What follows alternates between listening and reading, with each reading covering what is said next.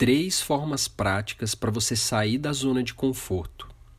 Olá, tudo bem? Aqui é o Leonardo Ota e esse é o podcast Iluminação Diária número 85. Eu fiz recentemente um post no Instagram sobre budismo é, com uma imagem com vários círculos e mostrando cada círculo o que significa. Então começa de um interno, que é a zona de conforto, né, que é uma área verde, a próxima área já fica amarela, que é uma zona de medo quando você sai da sua zona de conforto. E aí tem outras áreas, né? E a área, a quarta área, o quarto círculo, ele é onde você é o local quando você atinge o que você quer. Mas para chegar lá você tem que passar por várias etapas. Antes da gente começar, gostaria de deixar um recado bem rápido. Se você quer receber citações e conteúdos diários para você lidar com raiva, emoções, mente acelerada, ansiedade, é só você clicar aqui no link da descrição. Então vamos lá. Eu pesquisei aqui três formas e que eu percebo que para mim também funciona para a gente sair, né? Formas práticas para a gente sair da nossa zona de conforto. Não é simples sair da zona de conforto. Por quê? Porque vai te deixar desconfortável. Você vai do conforto para o desconforto. Mas é nessa dificuldade, é nesse desconforto que a gente cresce como ser humano. Se a gente ficar só no nosso cantinho, no nosso quarto, vendo série a vida inteira, a gente não vai saber lidar com as coisas. Então a gente está na nossa zona quentinha, mas nada acontece nesse lugar. Nada evolui quando a gente está nesse lugar. Então, qual que é a primeira coisa? A primeira sugestão que eu te dou para você sair da zona de conforto de forma prática é você se desafiar a fazer algo que você nunca fez. Por exemplo, eu tenho uma coisa comigo. Sempre que eu vou comer em algum lugar, e esse é um local, ou pode ser que eu já fui ou que eu nunca fui, eu sempre me proponho a comer algo novo que eu nunca comi na minha vida. Então, às vezes eu procuro, principalmente se eu já fui nesse lugar, eu vou lá, olho o cardápio e procuro uma coisa que eu nunca comi, não importa o que seja. Por quê? Porque eu entendo comigo que é dessa forma que eu vou conhecer coisas novas, que eu vou descobrir coisas que eu não sei que existem, que eu não sei quais as sensações, qual a experiência que eu vou ter. E isso vai aumentar a minha capacidade de conhecimento, de experiência. Porque eu vou me colocar num local que eu não estou. E isso vai abrir, vai ampliar a minha consciência, a minha mente e as minhas experiências.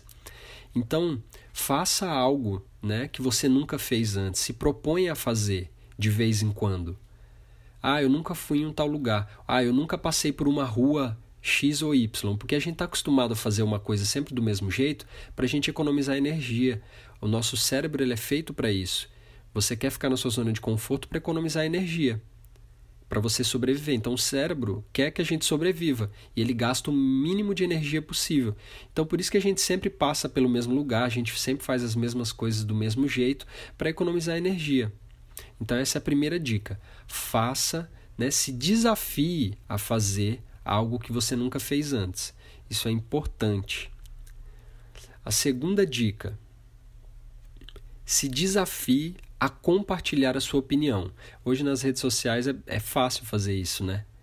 O que, que, quais são os objetivos desses passos que eu tô nesses três passos? É te colocar na, em algo desconfortável, te colocar numa zona desconfortável, que é isso que vai te fazer crescer. Então, desafie-se a compartilhar a sua opinião. Às vezes, pelo Facebook ou pelo Instagram, eu tenho um posicionamento sobre determinado assunto. Isso gera desconforto, porque a gente não sabe o que as pessoas vão pensar, a gente não sabe como aquele assunto vai. É, o que, que as pessoas vão pensar sobre isso, o que as pessoas vão pensar sobre você, sobre a sua opinião sobre esse assunto. Isso vai tirar da zona de conforto e vai te posicionar também em relação às, às pessoas à sua volta. Então elas vão saber o que você acredita, o que você não acredita. E isso faz você evoluir também, alcançar as coisas que você quer. Porque você vai tirar do seu caminho, é, né, de uma forma natural, quem não está alinhado com o que você acredita e vai atrair as pessoas que você acredita. Então é uma coisa legal para você fazer. E a terceira dica prática é para você se desafiar a encarar algum medo seu, algum medo que você tenha. Por exemplo, eu lembro que eu tinha um chefe e quando eu tinha que lidar com alguma coisa que eu sabia que ele ia ficar bravo ou poderia gerar até uma demissão, por exemplo. Não que eu tenha feito nada grave, mas enfim, eu não vou entrar em detalhes. É, pode ser que eu, o que, que acontecia comigo no geral? Eu ficava morrendo de medo de falar com ele porque eu achei que ele, porque eu achava que ele ia pegar no meu pé pelo que eu fiz. Aí eu ficava remoendo aquilo por alguns dias. Aí eu cansava daquilo, tomava coragem e ia falar com ele. Falava: olha, aconteceu isso, eu fiz, mas eu achei que você ia ficar chateado por isso ou aquilo. Ou eu não falava também e ele não falava nada. Ou seja, eu sofria por antecipação, sofria à toa. E quando eu falava com ele, ele: não, Léo, não tem nada a ver com isso. E aí a gente seguia. Né? Então, em alguns momentos, aconteciam essas coisas. Eu morria de medo né, de ter feito uma ação que pode ser que meu chefe, na época, quando eu trabalhava né, para outras pessoas, que ele ia achar ruim. Mas aí não acontecia e eu percebia que eu sofria à toa. Então, geralmente, a gente tem muitos medos de coisas que a gente criou que ainda não existiu. Né? Isso aí é ansiedade. A gente cria um monte de coisa na nossa cabeça de algo que nem aconteceu e a gente sofre por isso, fica morrendo de medo e quando a gente percebe aquilo, não vai acontecer nada. E não aconteceu nada. Isso é 95% das vezes isso acontece. Então, se desafia a essas três coisas. Né? Esse último é se desafiar a encarar algum dos seus medos. Se seu chefe é seu medo, alguém da sua família, para te colocar na zona de, de desconforto. Para quê? Para você evoluir, para você chegar onde você quer.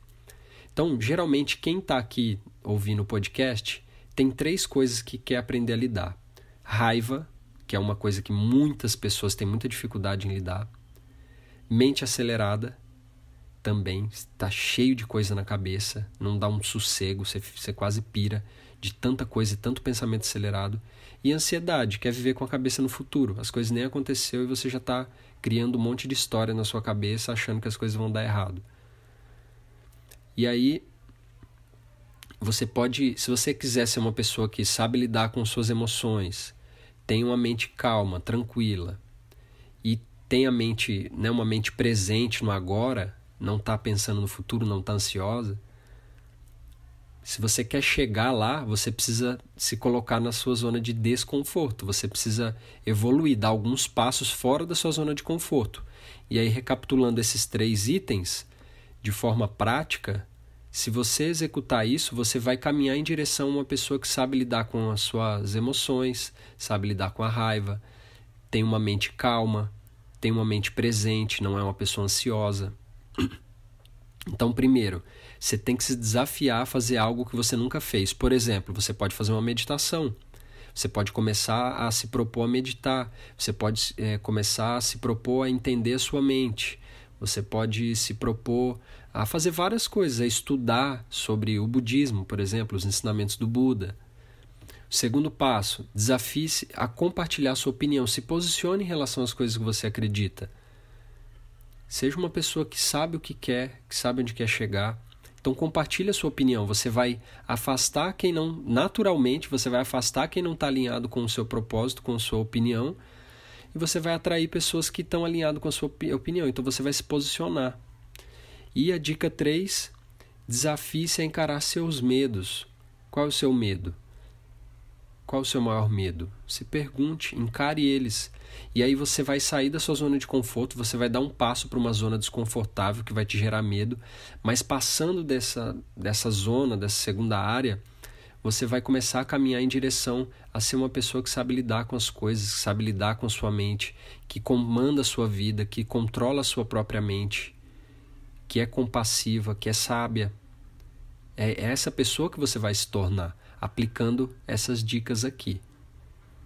Então, se você ouve esse podcast pelo Spotify, iTunes Store ou SoundCloud, peço para você deixar uma avaliação, deixar um comentário, que é muito importante para ajudar a divulgar esse trabalho se você acha que alguma pessoa merece ouvir esse podcast, compartilha com ela. Então, gratidão. Até o nosso próximo podcast Iluminação Diária.